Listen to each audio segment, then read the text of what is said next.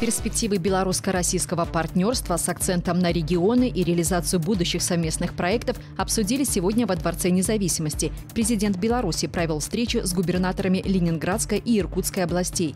Гости заинтересованы в нашей линейке техники, пассажирском транспорте АПК. Общая цель – увеличение объемов торговли через углубление кооперации и новые проекты. Стоит отметить, товарооборот Беларуси и Иркутской области за последние четыре года удалось увеличить в четыре раза – Однако из-за кризиса в этом году он просел. Стороны намерены исправить ситуацию, в первую очередь за счет проектов в логистике, машиностроении, сельском хозяйстве и строительстве.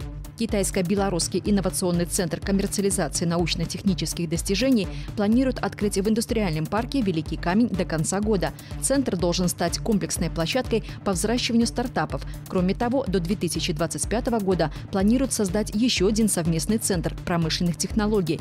Он станет связующим звеном научно-технического сотрудничества между институтами Академии наук провинции Гуандун и Национальной академией наук Беларуси.